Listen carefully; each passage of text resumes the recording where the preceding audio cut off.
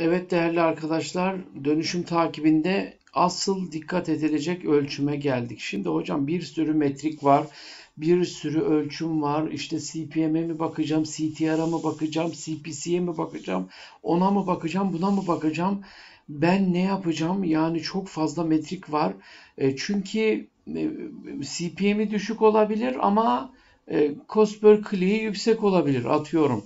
Veya işte o, o metreyi düşük olabilir. Bu, yani çok fazla burada metrik var. Bu metriklerden neye bakacağım? Yani bir sürü bakın yok ona göre süz buna göre süz ne yaparsanız yapın yani bir sürü burada süzüp bakabilirsiniz. Anlatabiliyor muyum? Burada yapılması gereken şey yani ben hocam e, burada asıl benim asıl ben ne yapmam lazım? Asıl asıl ben ne yapmam lazım diye bakmanız lazım olaya. Anlatabiliyor muyum? Asıl burada bizim bakmak istediğimiz şey. Şimdi örneğin ben bir web sitesiysem, ben bir web sitesiysem burada benim asıl olarak ne yapmam lazım? Yani benim asıl bir web sitesiysem satışa bakmam lazım değil mi? Yani ben ne kadar para harcadım ve ne kadar satış yaptım. Değil mi? Asıl yani benim bakmak istediğim yer burası. Asıl benim bakmak istediğim yer burası. Yani burada tabii yani şu alışveriş reklam harcamasına göre getirisi. Yani şöyle ben 100 liralık reklam harcadım 1000 liralık satış yaptım. Şu. Bunu buna bakacağız. Buna bakacağız. Aynı zamanda sonuç başı ücret. Yani ben bir tane sonuç elde edebilmem için, bir alışveriş yapabilmem için ne kadar bir maliyete katlanıyorum, ne kadar reklam veriyorum. Mesela 22 dolar. Ben bu ürünü zaten 27 dolara satıyorum. Yani bu reklam sizce okey mi? Yani 5 dolar için mi ben bu reklamı verdim? Yani her bir bana getirdiği alışveriş 22 dolara mal oluyorsa bu aslında karlı bir ticaret değil. Ben 15 dolar 15 dolar 27 dolar yani 15 e, dolar her 15 dolar harcadığımda ben bir satış yapıyorum. 27 dolar kazanıyorum. O zaman ne oluyor?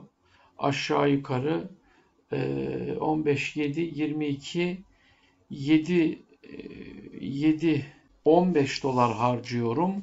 27 dolar kazanıyorum. Her bir satıştan 7 dolar kazanmış oluyorum. Dolayısıyla da benim aslında karım ne olmuş oluyor? Karım ne olmuş oluyor? Ben aslında %46'lık bir kar elde etmiş oluyorum ve bu beni kurtarıyor mu kurtarmıyor mu ona göre bakıyorum. Yani buradan işte biz buraya bakacağız. E hocam peki bu mesela 22 dolar 1.20 1.77.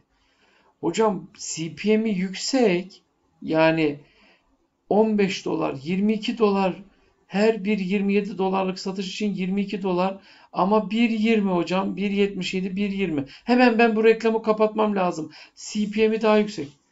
Arkadaşım burada CPM'e bakmayacaksın. Burada sen cebine giren paraya bakacaksın ya da sonuç başına ücrete bakacaksın. Ne kadar kazanıyorsun sen? Anlatabiliyor muyum? Peki hocam ben form topluyorum form topluyorum. ve orada da form başına maliyete bakacaksın. Yani şöyle 10 tane form topladın. O 10 tane formu da bir tane satışa çevirdin. 1500 lira kazandın. 10 tane formun sana e, maliyeti ne oluyor? Bir form 150 liraya mal olmuş oluyor. Senin form başı ücretin e, form başı kazancın 150 lira, form başı ücretinde 75 liraysa sen kardasın demektir. Anlatabiliyor muyum? Yani bu şekilde bir matematikle bakmanız lazım. Yoksa CPM şuymuş, cost per click buymuş. Al cost per click'e bak. Cost per click'e bak. Mesela tıklama başı ücretine bak. 0.20 0.11 ne yapacaksın? Hemen şunu kapatırsın. 0.20 hocam. Ya kapatırsın da sen 15 dolara indirmişsin. Bir, bir satışı 15 dolara mal ediyorsun. E burada burada 22 dolar.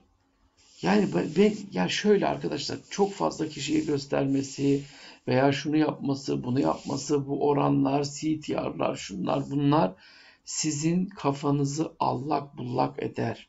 Bakılması gereken şey sonuç başına ücrettir. Yani ben bir satış yapabilmek için, bir form toplayabilmek için kaça bana mal oluyor kardeş? Buraya bakıyoruz ve bize kaça dönüşüyor? Yani kaç tane alışveriş yaptırıyor ve ne kadara dönüşüyor e-ticaret siteleri için? Buralara bakıyoruz değerli arkadaşlar. Yoksa oradan rapor al, buradan rapor al, çarp, böl, tıkla, işte reklam setlerinde şöyle bütçeyi arttır. Bu ha şeye gelecek olursak onu da bir sonraki derste anlatacağız. Yani optimizasyon konusu.